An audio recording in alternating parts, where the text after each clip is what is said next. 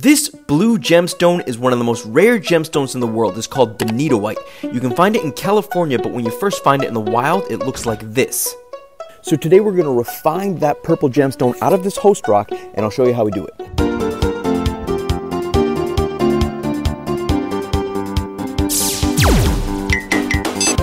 Pretty cool.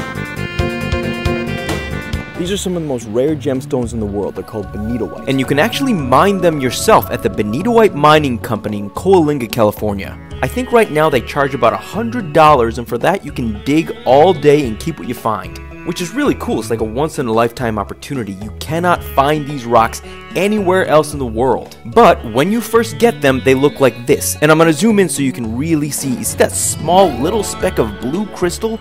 That is the gemstone that we're to try to get out. They're in this white natrolite host rock. You can see it a lot in all these other rocks as well. There's many ways to get that benitoite out of that host rock. You can drill it, you can dremel it, you could chisel it down. However, it's to be very difficult because that benitoite is not very hard. We're going to use a much softer approach. We're going to put it in acid.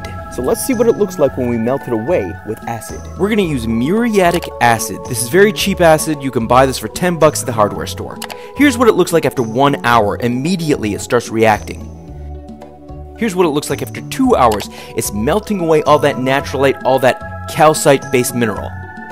And let's check out what it looks like after 24 hours. So it's been soaking overnight for 24 hours and you can just see those blue gemstones underneath just starting to peek out. However, it's not quite at the quality that we want it at. We really want to get all that white natrolite off so we can really see the shape and, and form and color of those blue crystals.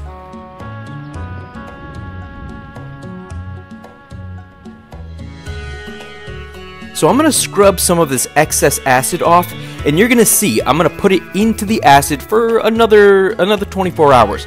We're going to put it in for a total of 48 hours, 2 days overnight and that that natrolite, that white rock is just going to melt away. We're going to be able to just scratch it off with our bare hands. It's going to be really cool to watch. So let's fill that up. We're going to let it sit overnight. We're going to rinse it off, really wash it thoroughly. You don't want any of that stuff on your hands. And after 48 hours, check that out.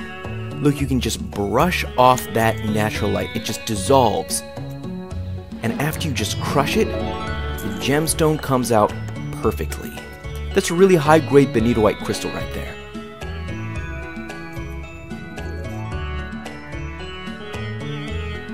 And you can see this one right here, peeking out of that host rock. Um, some of this natrolite was really thick. We got to let it dissolve. This one, oh, this is great. You can see it. It's just sky blue. And it's just peeking right out. Perfect either for display purposes or if you want to take the fully formed crystals and put them into jewelry. Benitoite is a really amazing gemstone for any collector to have in their collection. It's super rare. It's also pretty valuable. And if you ever get your hands on some benitoite, maybe this video will help you too. Refining benitoite. Pretty cool.